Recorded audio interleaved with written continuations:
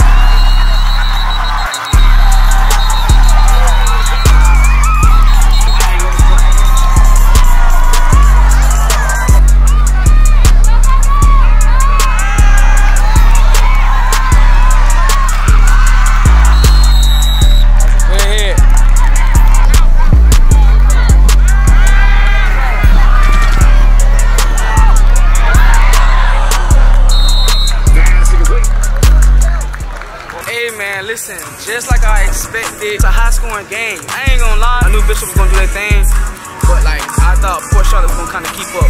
But it's only the half, you know what I'm saying? 34-14, you know what I'm saying? It's a lot of game left.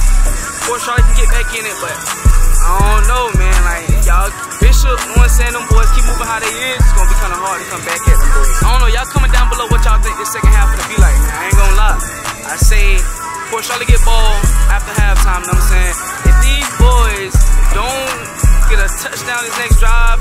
Bishop go, the game is over.